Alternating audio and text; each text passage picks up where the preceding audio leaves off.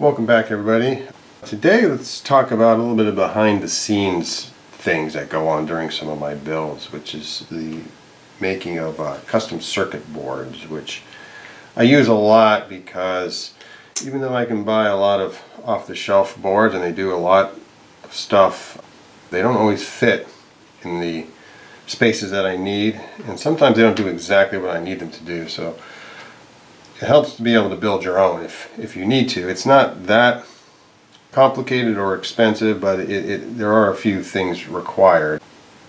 In this case, we're making a board that goes behind these cutouts to hold the buttons uh, for the BMO gaming console. And what I did is I made a, a schematic and then I laid out the board there's other things that go into uh, doing it. Namely, you need to uh, have a reflow oven which will melt the solder. There's other ways to do it. You can kind of look that up on YouTube as well. I use a reflow oven. But this is a pretty simple board. It doesn't really have any fancy integrated circuits. It mostly has buttons and a few connectors. I have two USB micro connectors and a couple of uh, Picoblade connectors. So the first thing you got to do is get a, a, stencil made for the various solder pads and this is made out of metal. There's, there's other plastics and things that can be done. Um, theoretically you can make your own. Uh, I had a shop do this for me. Turn around for all this, you can get a board made in about a week.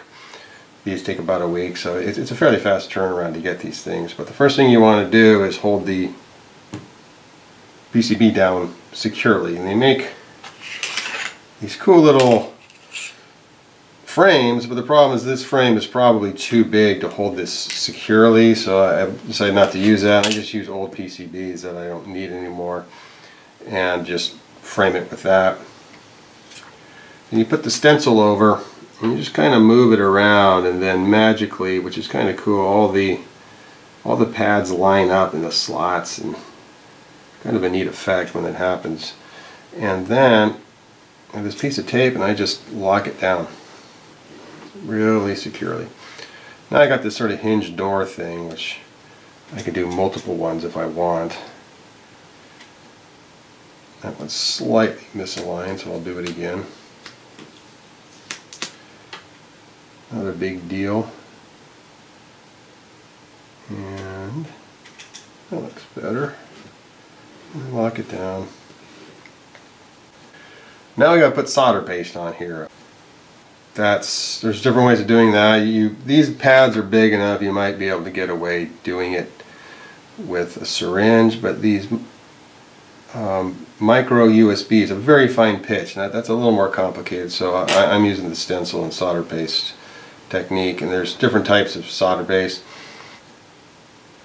This is what's called T4 which I would typically use um, because the, the, solder pads are, are, pretty big on here except these micro USBs are pretty fine pitch and so I'm going to use a a T3 which means it has smaller uh, grains of, of, of solder in there so you get less likely to get solder bridges across the various pads. For the buttons it wouldn't be a problem, but for these, these micro USB connectors I, have had it sort of blob up during the, uh, the heating process. So T3, pretty simple concept here. Just take a glob of this stuff and just run it down the side like that. And then you need a solder spreader and there's nothing better than an old hotel card key old um, gift cards, don't throw those out, they're good for spreading solder. Things like that. Uh, so you just put it on here and run it across uh, with a little bit of pressure downward. I Kind of wiggle it a little bit and make sure it goes in. Just kind of keep it at an angle. And that looks pretty good. Take some of the excess off. And now we flip it up and what we want to see is that it's not slopping outside the solder pads. especially on the micro USB. That, that's the most critical part. You're not going to get any solder jumpers on these big pads. If it goes outside a little bit, it's not a big deal. Uh, solder won't stick to the, to the mask. It, will find its way usually to the pad, but if, if it's a very fine pitch, that could be a problem. So put the excess back in.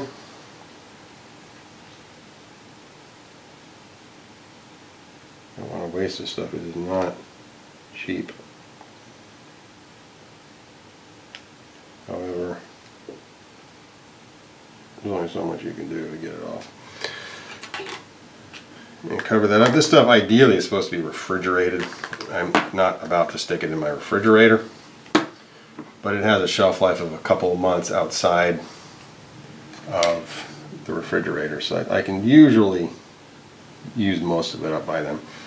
Now comes the fun part, putting the pieces on. So, let's take one side of this off, get this guy out of here. Be careful not to touch the solder paste. There we go. Just to jet off altogether for now. See if everyone can see that. Alright, so let's start with the buttons. Buttons are usually the easiest part. These are little tactile buttons. I like these ones. They actually have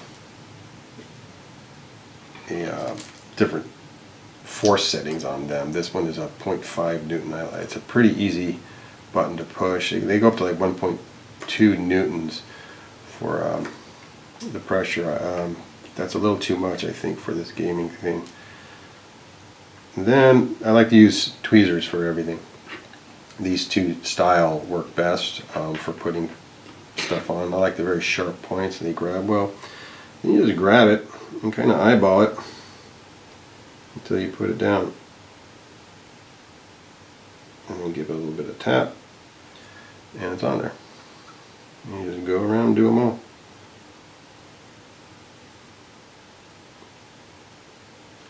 When I'm placing these pieces, the, I go all the way down, I can hit the table and I pick it up. Then I go all the way down and I hit the PCB with the tips of the tweezers and I just let go. I don't like to drop it on there because you're going to miss the pads. If it's not perfectly aligned, you can nudge them a little bit on these bigger guys. This one's a little bit off. You can kind of knock it down a little bit. These bigger pads, that's okay. I give it a little bit of tap to seat it. All right. Well, these, these connectors are kind of in front of these buttons. So let's do the connectors. Same process. Grab your connector. A little bit different. I can't really grab it on both sides, so I do, um, you can see it kind of is an awkward thing to grab onto. Just kind of get used to holding it and putting it down. And then drop, this one I will drop a little bit because I couldn't bottom it out, but again the solder pads are big enough where I can eyeball it. But it is a, these, these are a little trickier to do.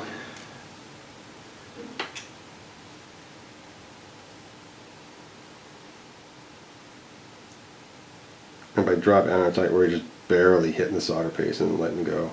But again, I do have to nudge it if that's the case. I said I rarely get it to nail right on top of the pads. That's fine, it's looking good. Let's put the remainder of the buttons on.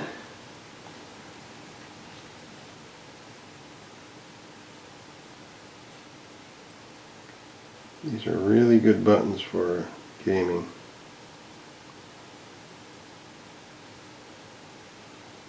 They do make through-hole versions, but I, I don't like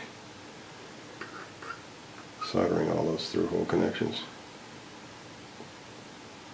But if you wanted to make a board that uses a through-hole version, you wouldn't have to go through as much of this. I don't think they make through-hole versions of these micro. That's the, really right. I went all solder pad on the thing. Um, there are through-hole versions of Pico blade connectors. Now these are tricky. One, they got these tabs that go all the way through the board, so I can't just drop it on there right now. I'm to have to uh, elevate it slightly so those don't get hooked up by the table. Now there are alignment holes here to help you out. But they're not perfect. And if, if you slop around too much, and there's a little bit of play in those holes, uh, you will get solder bridges. The T3 helps out in avoiding that to some degree, but I'm trying to figure out what the best way to grab this thing is. Maybe like that. Then I just aim for the, the holes there hope for the best. Fortunately, the, the prongs are a little longer.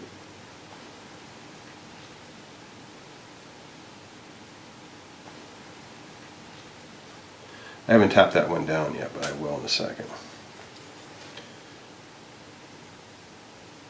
So, this guy. There. So I believe those two are seated. Then I'm going to give them a little bit of a tap to completely get them down there. To smash the solder paste. Now comes the fun part. Trying to determine if um, you screwed up the magnifying glass helps out with that. And what I do, just kind of rock it up there and take a peek. That looks pretty good. I don't think I got any solder bridges going. Okay, I, I don't want to lay it flat again because what's going to happen is it's going to pop that up. Missing one thing here.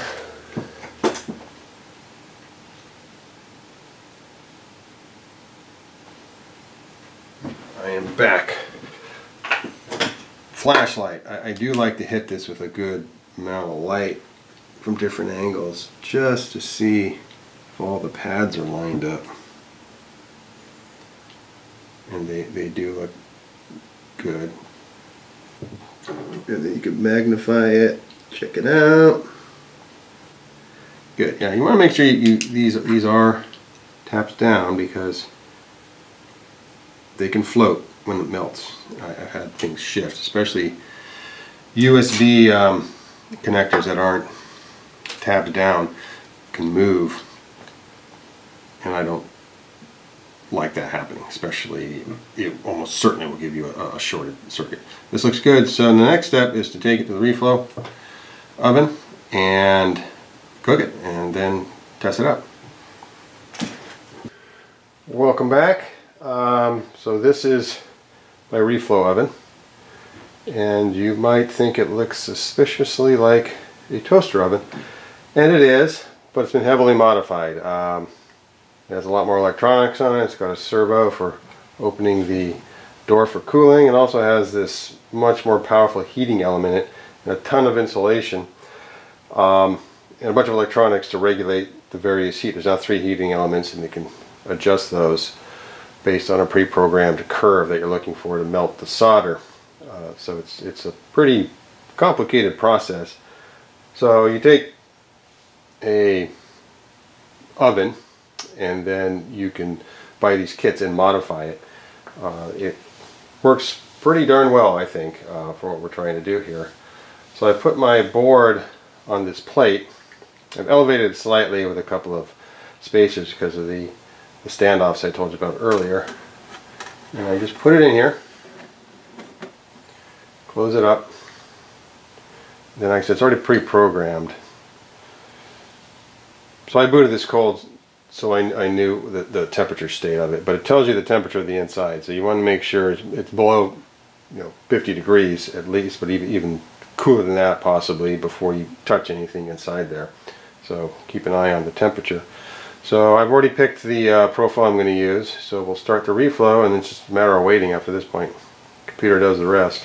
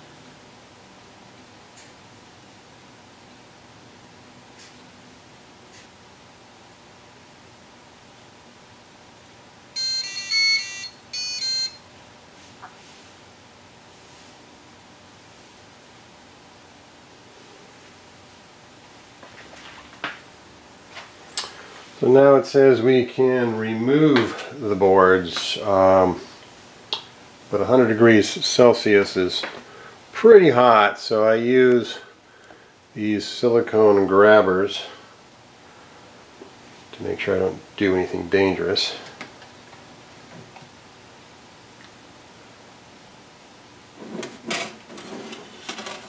And then I just offload the board up there put this back. Let that keep cooling.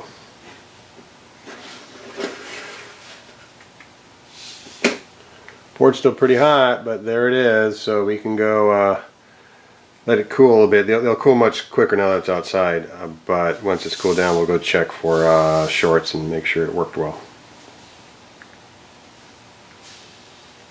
All right, welcome back. Here is our board. Cooled off and ready to go. So this is a pretty simple board. The only thing I'm really concerned about is whether there's any shorts on the USB port. This is the USB port connector right there. So I'm just going to check those pins to see if they're, uh, they're shorted. To that I use this continuity tester. Do is if it detects continuity, gives you a sound. So all I'm going to do is touch it to one of the pins and then check the rest of them and there's no sound I'll just move on to the next pin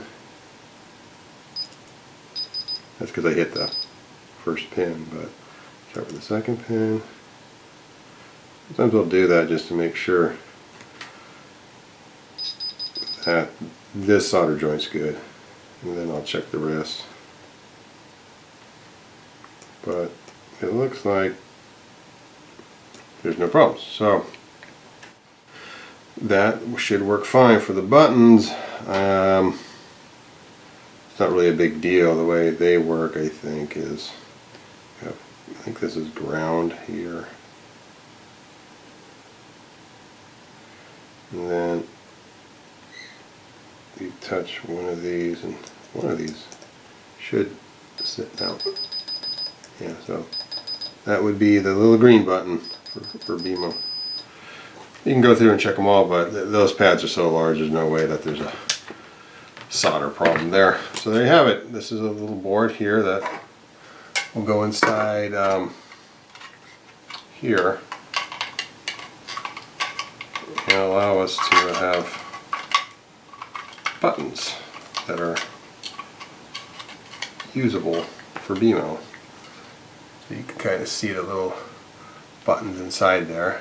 There will be 3D printed corresponding colored buttons that work, but uh, that's what you do when you need to make a board that just can't find on the market. You just build your own.